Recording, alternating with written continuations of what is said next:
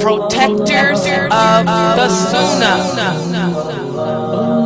Sunnah protectors of the Sunnah.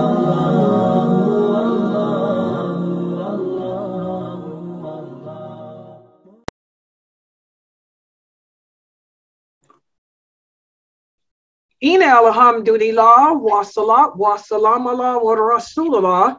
Welcome to another session of our hadith class. And these are the hadiths from Imam Bukhari's collection, the heart softeners. And let's look at the hadith for tonight. In this hadith, uh, the Prophet wasallam said, Allah said that he will declare war against anyone who shows hostility to a worshiper of his.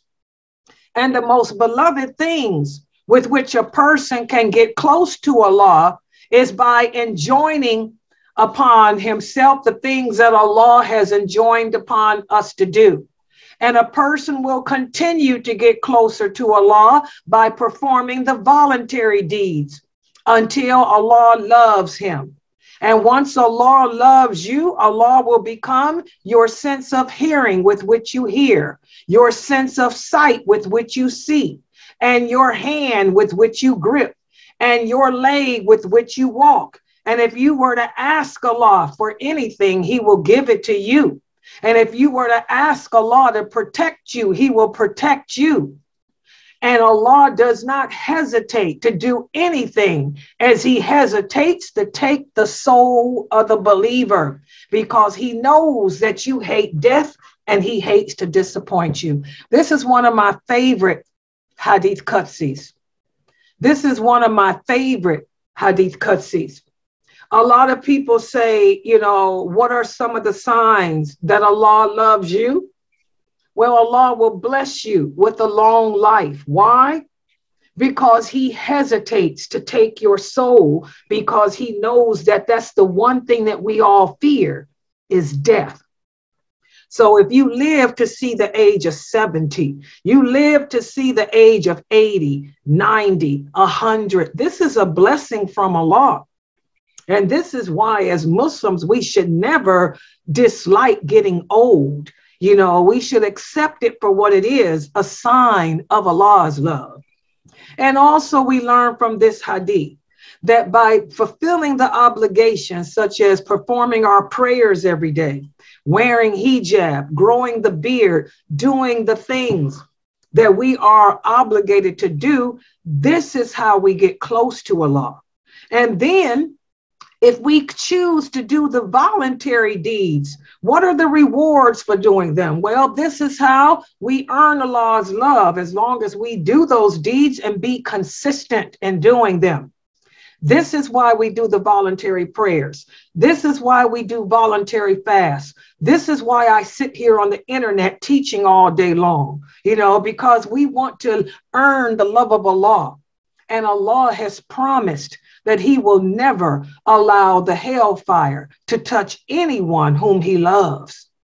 So, this is a wonderful hadith that we need to ponder in our everyday lives as we live each day as if it were our last. You know, are you fulfilling the obligations that Allah has imposed upon you?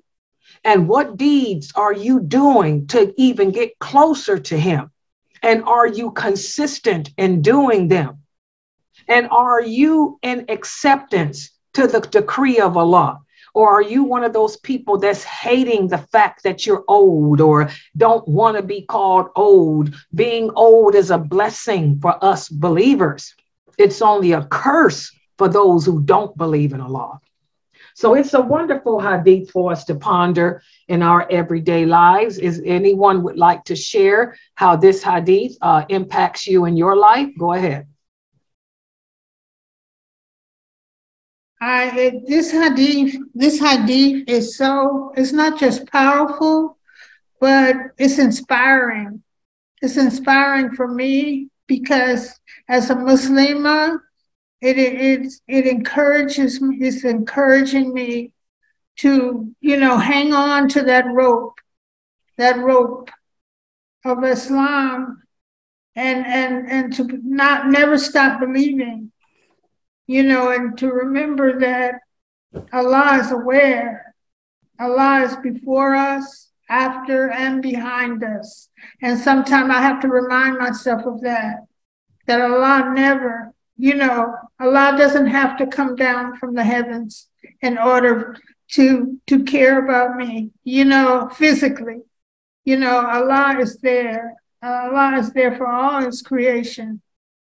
And I have to remember that, you know, that no matter how hard things get or how scary sometimes things are, you know, for me, you know, when I'm when I'm not well, that it's gonna be all right because Allah is merciful. He's merciful to his creation. And I just got to hold on and keep that faith, keep that faith. And I keep asking Allah to strengthen it, strengthen my faith, make me strong and believing and trusting of Allah's process for me. That's Alhamdulillah. MashaAllah. Anybody else would like to share? Okay, it's a wonderful hadith that tells us how to get close to Allah. First of all, just by doing the things He commands us to do. And then, if you want to increase your relationship with Allah, your status with Him, do the voluntary deeds. Okay, I'd like to thank everybody for joining and participating in this session. Subhanaka Allahumma wa bihamdika ashhadu an la ilaha illa anta astaghfiruka wa atubu